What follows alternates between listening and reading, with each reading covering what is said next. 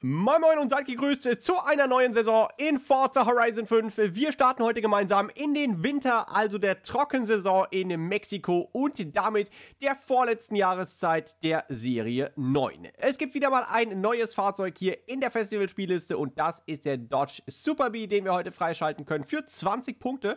Außerdem kehrt der Senvo ST1 zurück und den gibt es damit für 40 Punkte nochmal. Auch den kann man also nochmal freischalten und natürlich für alle, die ihn nicht ein zweites Mal behalten wollen, auch im Auktionshaus verkaufen. Wir schauen später mal, was der Wagen wert ist und natürlich brauchen wir auch wieder eine ganze Menge Aufgaben, die wir vorab erledigen müssen, damit wir diese beiden Fahrzeuge freischalten können. Deshalb lasst uns starten. Wir schauen mal auf den wöchentlichen Forzaton. Dafür gibt es nämlich, wie auch sonst üblich, 5 Fortschrittspunkte und 160 Fortschrittspunkte und dieses Mal ist zum Glück kein gravierender Fehler in der Beschreibung dabei. Also das Ganze sollte hier relativ schnell mit dem Mercedes-Benz Unimog zu machen sein, denn wir müssen in der ersten wirklichen Aufgabe eine Querfeld-Einveranstaltung gewinnen. Dann einen Stern beim Barranco Wegbereiter erzielen und den, den findet ihr hier oben auf dem Vulkan. Da müssen wir also mit 5 Sekunden Restzeit ins Ziel kommen. Tuning ist natürlich ohne Ende erlaubt und und zum Schluss müssen wir noch einmal 10 ultimative Zerstörungsfähigkeiten ausführen, also einfach mehrere Dinge hintereinander zerstören. Dann bekommt ihr auch die ultimative Zerstörungsfähigkeit und die genannten Punkte. Bei den täglichen Forzaton Mini Challenges, da ist es ja wie sonst auch einen Punkt und 20 Forzaton Punkte für jede erfolgreich erledigte Aufgabe. Einige davon kann man wirklich so nebenbei mitnehmen, wie beispielsweise die unterste Aufgabe Stachelig. Führe 10 Crash-Toss-Fähigkeiten aus, also einfach 10 Kakteen umfahren. Das kann man ja mal so nebenbei schnell machen. Schauen wir mal in den Forzaton Shop. Auch dort gibt es nämlich ein Exklusivfahrzeug und zwar den Toyota AT37 aus 2016, also den Arctic Truck, wofür ja AT steht, für 700 Forzaton Punkte. Wer den Wagen also vielleicht verpasst hatte, der hat jetzt hier die zweite Möglichkeit, an den Wagen relativ günstig ranzukommen. Abgesehen davon gibt es den Hennessy Venom GT für 300 Forzaton Punkte, einen Hot Wheels Anzug exklusiv und die Hot Wheels Eis Hupe. Außerdem können wir bei den saisonalen Veranstaltungen wieder einmal Horizon Arcade spielen, also Minispiele, bei denen wir online kleinere Aufgaben erledigen müssen, für die wir dann in jeder Runde 20 Fortschrittspunkte sammeln können. Und für das Absolvieren aller drei Runden gibt es dann nochmal drei Fortschrittspunkte für die Festival-Spielliste obendrauf. Schauen wir auf die Prüfung. Da gibt es diese Woche die Mustang Manie. Wir können den Ford Mustang Mach 1 aus 1971 gewinnen, wenn wir hier gemeinsam mit anderen Online-Spielern unschlagbare Driver-Tare besiegen können. Und das Ganze in einem Mustang unserer Wahl in der A-Klasse bis 800. Außerdem gibt es 10 Punkte. Wichtig ist dazu allerdings zu sagen, es zählt nicht jeder Mustang, denn es gibt eine Ausnahme. Der Mustang Fox Body aus 1993, der trägt den Mustang nicht im Namen und er zählt deshalb nicht als Ford Mustang. Also den dürft ihr nicht auswählen.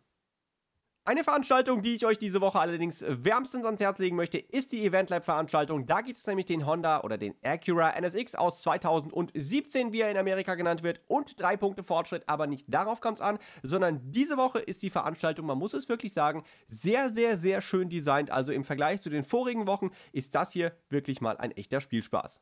Schauen wir als nächstes auf die drei saisonalen PR-Stunts und wie auch schon in den Vorwochen gilt hier, dass das Anspruchslevel ganz schön gestiegen ist. Deshalb ist es jetzt eben nicht mehr so leicht, mal ganz schnell zwei Punkte und jeweils einen Super Wheelspin zu verdienen. Zumindest nicht bei allen Aufgaben ist das so leicht. Starten wir mal mit der Blitzerzone La Silica. Hier müssen wir mit einem Hypercar der S2-Klasse eine Geschwindigkeit von 233,4 km/h schaffen. Vergleichen wir das mal zum 3-Sterne-Ziel bei 201,2 km/h ist ist das also nochmal eine ganz schön ordentliche Schippe obendrauf und dementsprechend lohnt natürlich hier erst einmal ein bisschen zu tunen, bevor man sich an die Herausforderung wagt.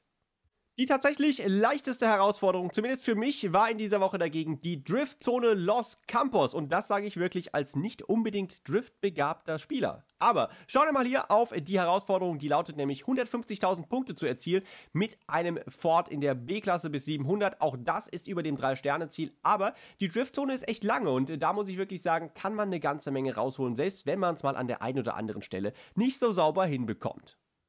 Zuletzt gibt es noch einen Wegbereiter und der hat es zwar auch in sich, aber wenn man weiß wie, dann ist er nicht ganz so schwer, wie er vielleicht wirkt. Die Aufgabe lautet, 21 Sekunden Restzeit zu haben im Ziel. Das Ganze muss mit einem unbegrenzten Offroader der A-Klasse erledigt werden. Der Vorteil ist hier, man kann von Osten aus kommend auf der Autobahn sehr gut Anlauf nehmen und wenn man sich rechts hält und die Sprünge vermeidet, dann schafft man das hier mit einem A-Max-Fahrzeug, also auf A800 getuned, eigentlich auch ganz gut.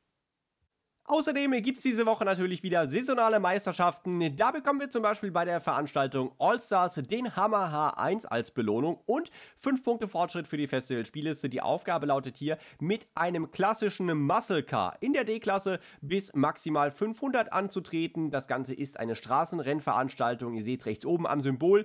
Die Aufgabe lautet natürlich hier auch am Ende die Meisterschaft irgendwie mit dem Fahrzeug zu gewinnen. Außerdem gibt es noch die Meisterschaft Baja Flitzer. Da bekommen wir den Ford F150 Trophy Truck mit der Nummer 11 freigeschaltet und weitere 5 Punkte, wenn wir mit einem Pickup und Allradfahrzeug der C-Klasse hier gewinnen können. Und ihr seht, mittlerweile gibt es da doch eine recht umfangreiche Auswahl. Was früher eigentlich nur Ford F150 war und das ein oder andere Fahrzeug noch nebenbei, ist durch die Toyota TRD-Fahrzeuge doch relativ umfangreich geworden. Also ich denke, da hat man mittlerweile eine gute Auswahl. Für die Horizon Tour Koop-Meisterschaft bzw. eine erfolgreich absolvierte Runde gibt es weitere drei Punkte, allerdings sonst keine extra Belohnung und damit schauen wir mal auf die kleinen letzten Challenges, die es noch diese Woche gibt. Da können wir nämlich Horizon Rennhandschuhe freischalten und zwei weitere Punkte bei der Foto-Challenge bekommen mit dem Hashtag SpeedTeam. Fotografiere ein beliebiges Hypercar beim Copper Canyon. Gut, der ist ja auch relativ deutlich im Norden der Karte ausgezeichnet. Das sollte also keine Herausforderung sein. Außerdem gibt es nochmal beim Horizon Open eine Nebenaufgabe. Führe 20 Drift- oder E-Drift-Fähigkeiten aus. Dann gibt es nochmal zwei Punkte und den Nissan GTR aus 1971. Schauen wir als nächstes auf unsere beiden wöchentlichen Exklusivfahrzeuge und hier auf ein ganz klassisches Muscle Car der alten Schule. Den Dodge Coronet Super B oder auch häufig nur als Super B bezeichnet. Ab 1968 gab es das Modell, wir haben hier den 1970er, denn ab 1969 gab es nochmal einen ganz besonderen Motor, der hier unter der Haube steckt. Den schauen wir uns gleich an, aber zunächst mal zum Symbol des Super B. Da ist nämlich eine Rennbiene überall auf der Karosserie zu finden mit Helm und fetten Dragreifen, also das, das typische Symbol für den Super B. Aber nicht nur das, sondern auch diese Flügelspangen. die wir uns hier gerade anschauen. Also vorne diese Grillspangen, die so aussehen wie zwei Bienenflügel. Das sind auch typische Symbole für diesen Super B. Und das kam damals tatsächlich bei Käufern nicht so gut erstmals an. Aber über die Jahre ist er genau deshalb zum Kultfahrzeug geworden. Und jetzt schauen wir mal hier unter die Haube, denn auch das ist Kult. Der große 7 Liter V8 Hemi-Motor von Chrysler. Ja, und der steckt eben nicht nur im Dodge Super B, sondern auch im Dodge Charger bzw. Charger Daytona. Und tatsächlich ist der Hemi noch nicht einmal der größte Motor. Es gab sogar noch einen 7,2 Liter großen Motor, aber der Hemi ist eben der stärkste mit 425 SAE PS. Im Spiel sind es 431 PS, die er hat. Wie gesagt, da hatte ich ja in der letzten Woche schon mal erklärt, das sind eben Brutto-PS, die direkt ab Motor gemessen werden, also ohne Nebenaggregate. Daher ist das eben etwas zu reduzieren. So um die 400 PS dürfte der Wagen daher haben, die man hier auf DIN PS umrechnen kann. Ja, schauen wir mal hier auf die Symbole. Da ist eben die Super B noch nochmal zu erkennen. Das war eben Sonderausstattungsmerkmal der damaligen Zeit. Abgesehen davon gab es ein Viergang-Schaltgetriebe und die 400 knapp 30 PS haben den Wagen in 6,6 Sekunden auf 100 beschleunigt, was, naja, für so ein großes Fahrzeug doch eine relativ gute Zeit nicht nur damals, sondern auch heute ist. Interessanter Fun Fact äh, zum Dodge Super B, das Ganze gilt natürlich auch für das ein oder andere weitere Muscle Car im Spiel, ist die unglaubliche Länge der Karosserie. 5,48 Meter ist der Dodge Super B lang. Vergleicht man das Ganze mal zum Beispiel mit einem Audi Q7 aus der aktuellen Generation, dann ist der Dodge Super B über 40 Zentimeter länger als der Audi Q7. Zum Vergleich mit dem Mercedes Maybach S600 sieht man, ist sogar da nochmal der Super B 3 Zentimeter länger, also ungefähr hier ist der Vergleich zu ziehen mit solchen riesigen Limousinen. Also das ist eben nicht nur der Eindruck im Forza Vista Modus, sondern die Fahrzeuge sind wirklich auch extrem lang.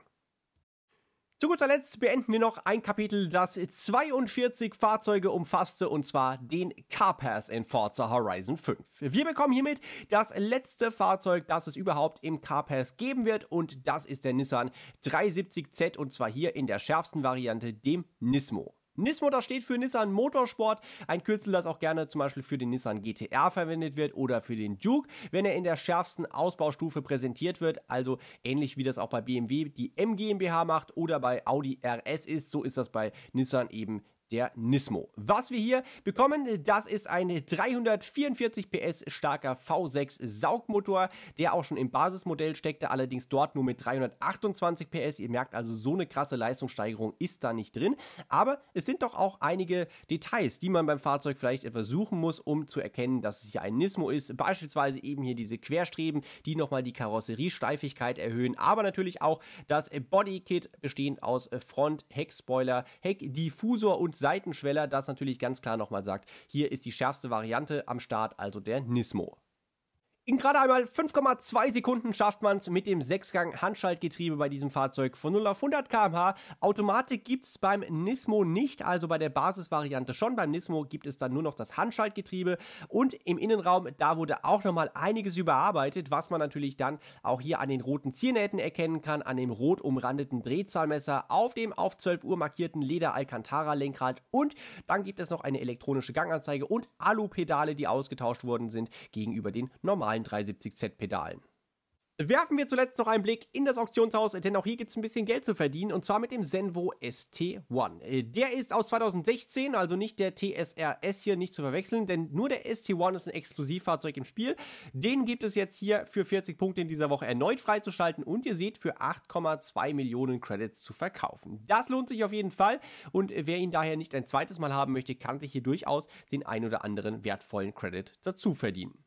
Und auch wir sind damit am Ende einer Forza Wochenausgabe angelangt. Ich bedanke mich vielmals bei euch fürs Zuschauen, wünsche euch viel Spaß beim Freischalten und hoffe, ihr habt das Video mit einem Däumchen nach oben bewertet und natürlich auch den Kanal abonniert. Dann sehen wir uns beim nächsten Video wieder. Viel Spaß beim Zocken. Macht's gut. Ciao.